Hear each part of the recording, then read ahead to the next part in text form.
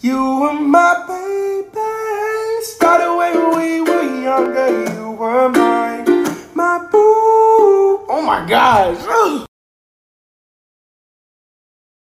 So before we get started today, why do you guys think you're in detention? That's okay. Think about it. Cause I'm gonna be honest, Aizawa said you had detention, but he never said what for. So in your own words, why do you think Fought a cop. I'm sorry, what? K cab.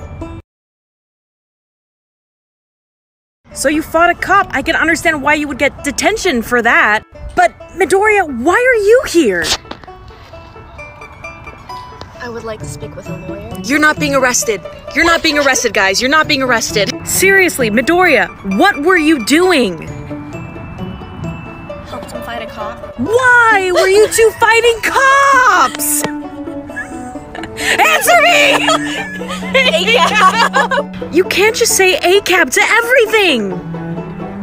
We would like to. So I'm gonna ask you one more time. Why are you in detention and why did you fight a cop? Cops. Cops plural? What happened? Some guy was giving Uraraka a hard time, so we decided to give him a harder time. When the cops got called, they got the hardest time of all. Then why isn't Uraraka here too? Because women are queens. And they couldn't prove that she was the one who floated him to the stratosphere. Some say he's still floating. There he goes now.